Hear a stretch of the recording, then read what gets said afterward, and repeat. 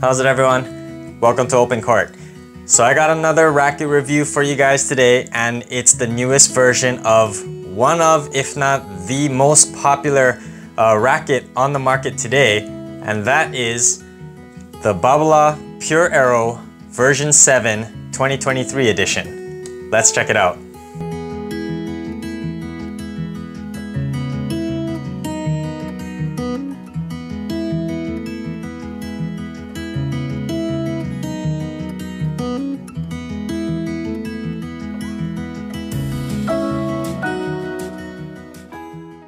So the Pure Aero series is one of the most popular racket lines on the market, made famous and popular by the one and only Rafael Nadal.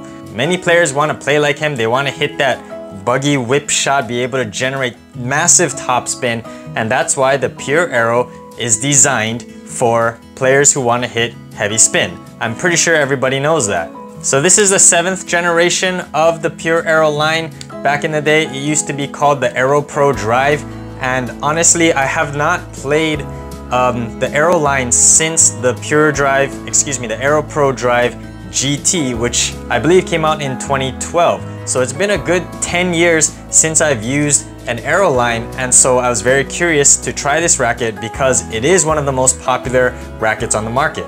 So not much has changed since the previous edition of the Pure Aero which came out back in I believe 2019. Um, but first, let's check out this cool cosmetic. Um, a lot of people have been praising this new design. I think it looks a lot better than the previous generation, which uh, some people call it the banana racket. It looks and it's colored like a banana. But this is a pretty cool paint job, especially the new tone of yellow with the gray and the black accents. As far as the specs go, we'll get into that in a minute, but nothing much has changed since the previous generation. You guys know about the Cortex dampening system and all that. There are a few things I would like to touch on though. Firstly, the Pure Aero line has something called spin grommets, which are placed at the 12 o'clock position and the 6 o'clock position of the face. And the spin grommets are basically just funnel-shaped grommet holes. So instead of a traditional cylindrical grommet hole like this, they're shaped like a funnel like this. And so that allows for the strings to move a lot more in a dynamic pattern to get more spin, snapback, and power. Secondly, the Pure Aero 2023 edition introduces something called the NF2 Tech Flax technology or something weird like that. It's basically an update of the previous dampening system they used in the previous version. Um, I don't know why they keep calling it these fancy names. Just call it the dampening system or whatever because that's all it basically is. It's meant to absorb a little bit of shock.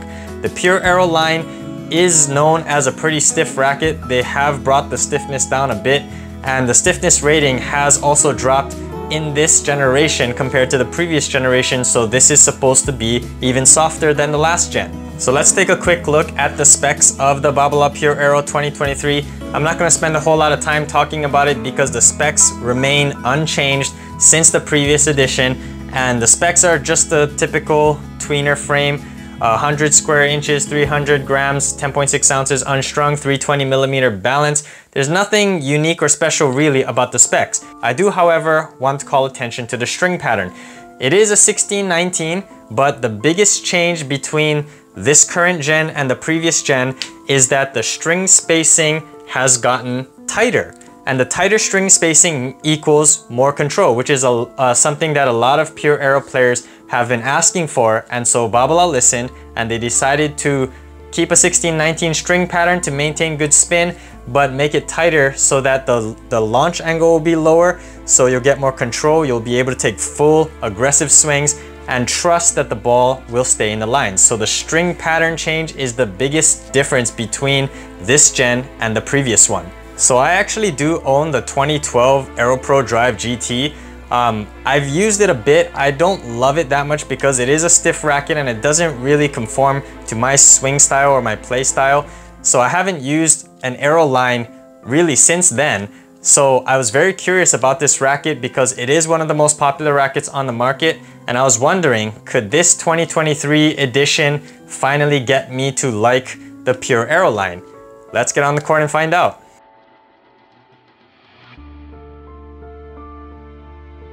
All right guys, I'm here on court with the new 2023 edition of the Babolat Pure Aero.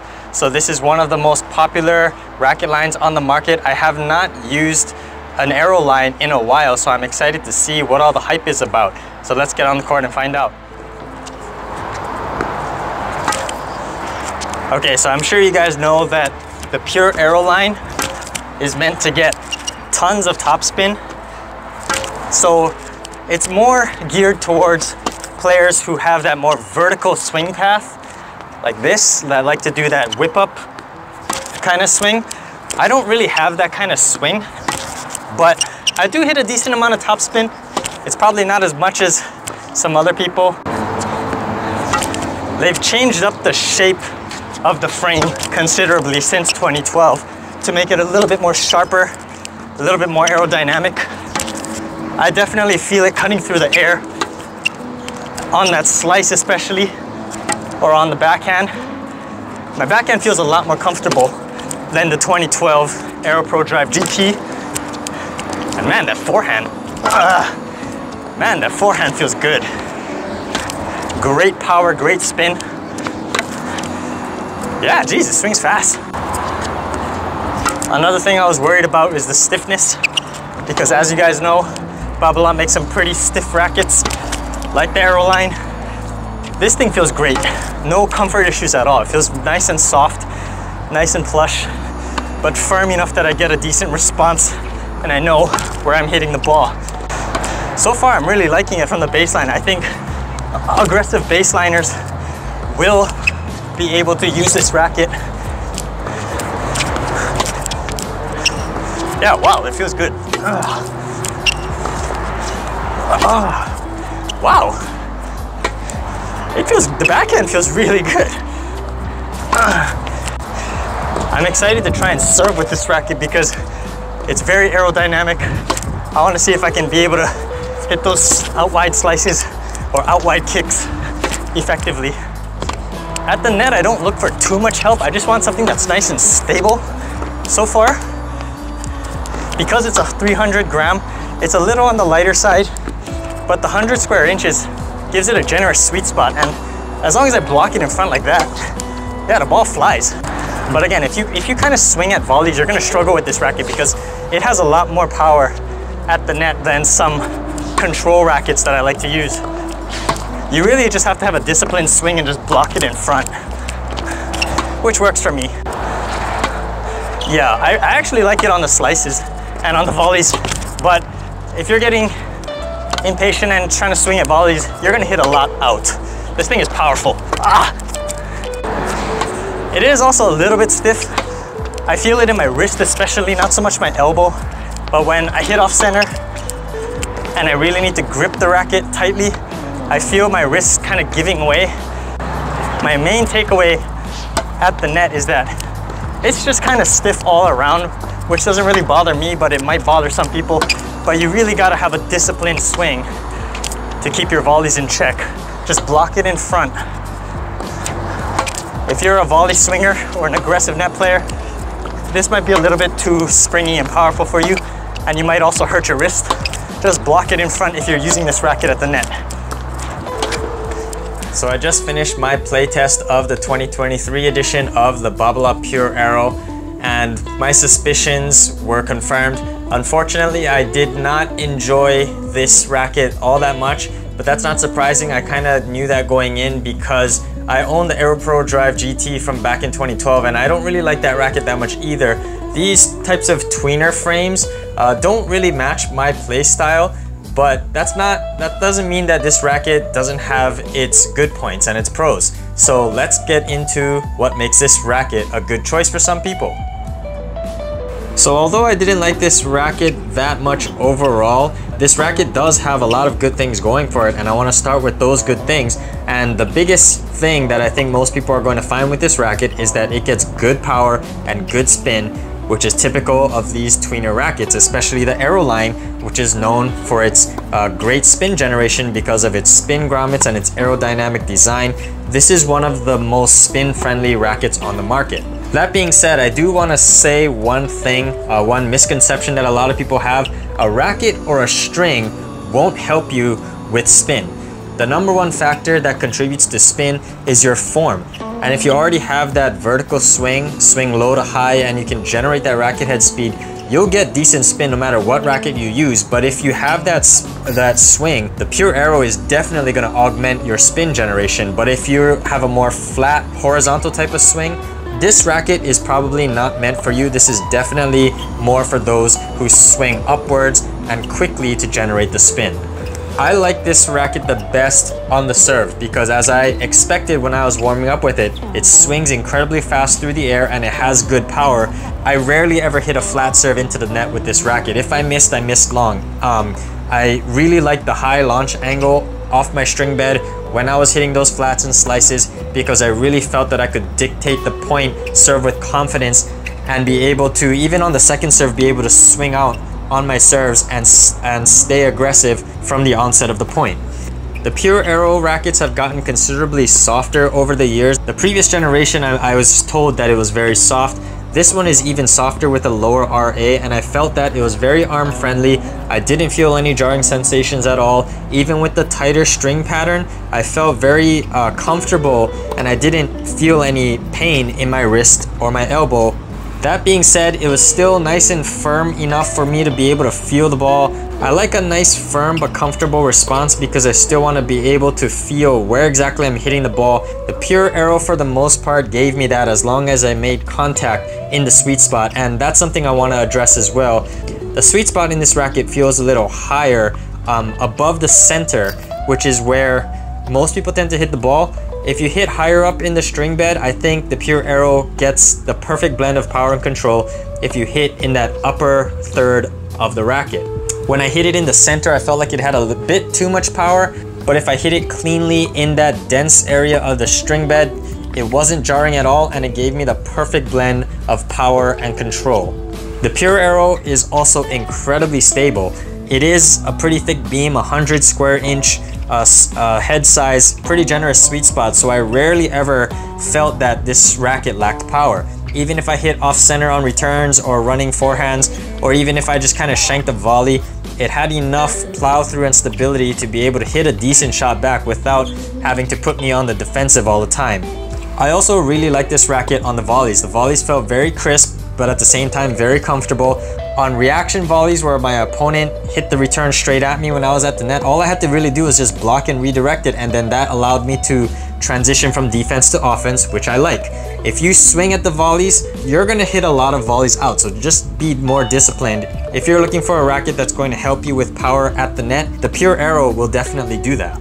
So because of its good power and good stability on serves and at the net especially, I really like this for the serve and volley and so I really like this racket. Definitely better for doubles than singles. So now let's get into the cons of the Pure Aero 2023. I touched on this a little earlier, but the ground strokes, I really liked it while I was warming up, but that was with the ball coming straight back at me. I didn't have to really run for it. I didn't have to really hit a, a fast ball my opponent was hitting. And so I really liked it during the warm-up, but when it come, came to the match play, I really struggled with this racket because I felt that it had a little bit too much power. Even with the updated tighter string pattern, I still felt that this racket had a high launch angle. I prefer something a little lower because I like to be aggressive and attack returns. I sent a lot of returns past the baseline, which affected my confidence, and I felt that if I ever was outstretched or had to hit a ball on the run or step in and hit an aggressive return, I had to shorten my swing a lot, and I really only felt comfortable rallying from the baseline swinging about 70%, which I don't really like when a racket limits my confidence and limits my ability to just swing out and play my style of aggressive tennis. This was just a little bit too much power for me. And if you are an advanced player who likes to generate their own power, the Pure Aero definitely benefits more from stringing with a poly and stringing with a higher tension, but I really don't recommend going above 55 pounds because this is still on the stiffer end, even though they have brought the stiffness down in recent years. The second thing that bothered me is the head heavy balance. This is a 300 gram, 10.6 ounce unstrung racket, which is kind of on the lighter side. And so in order to have stability, it needs to have the weight balanced a little bit more towards the head. I said earlier in the pros section that this racket is incredibly stable, which it is. Because the balance is a little bit head heavier than I prefer, I struggled to hit good kick serves with this racket because I had a hard time generating that acceleration on the pronation, which made my kick serves just kind of sit up there. I definitely like this racket with the flat and the slice serves. The kick serve I really struggled in and that's the serve that I use the most. And so I didn't feel as confident as I would have liked when I was serving and volleying. But this is an easy fix. Um, like I do with almost all my rackets, you could just put um, some weight under the butt cap to shift the balance point more towards the handle to make it head light. I think that would definitely benefit me personally to be able to generate that racket head speed and to be able to get that kick serve up and out, out of my opponent's strike zone. But I am judging this racket in its stock form and I felt that the balance was a little bit too head heavy for my liking. I also felt it was kind of hard to hit running ground strokes with this. I think if you're already good at them, this racket will definitely help you because this racket is meant to swing vertically. Because of the head heavy nature of this racket, I kind of struggled hitting those on the run, forehand, buggy whip forehands. Again, this is an easy fix if I put some weight under the handle. But unfortunately, the biggest con for me was that I could not confidently swing out from the baseline because I hit a lot of returns long, I hit a lot of running forehands long. The backhand was really, really good because I have a more compact swing on the backhand. And when I swung out on my backhand, this racket generated enough power and I could keep the ball in the lines, but really the forehand is where I struggled. But unfortunately, because of that lack of confidence from the baseline, I don't think this is a racket that I can use. Although I am a serve and volley and primarily a doubles player, I do prefer a racket that helps me with the ground strokes because I already have established volleys. I don't need help there. I want something that will help me with the ground strokes. And unfortunately, the Pure Aero line has always been a rocket launcher from the baseline. Some people like that, but unfortunately, this is not what I'm looking for in a racket. So who is the Babolat Pure Aero 2023 for? I think it's for people who already own the previous generation, but that was a little bit too stiff for them. This version, the newest version, definitely tones down the stiffness just a little bit. It is actually quite arm friendly, which surprised me for such a thick beamed racket. And also because of the tighter string pattern, this racket will have a lower launch angle and give you a little bit more control. So if you didn't like the previous version because you thought it sailed too many balls, this version will uh, keep the balls in play a little bit more that wasn't quite the case for me, but I think if you own previous generations of the Aero and you just want a softer and uh, more controlled edition, definitely give the Pure Aero 2023 a try. Also, if you have that more vertical swing, uh, Western grip, you like to swing low to high and generate lots of spin, this racket will generate a lot of spin for you and be able to keep those balls in the lines. So if you're a heavy spin hitter, this racket can definitely work for you. Thanks for watching this review of the 2023 Babolat Pure Aero. If you guys like this content and want to see more like it, be sure to overhead smash that like and subscribe button, and I'll see you on an open court.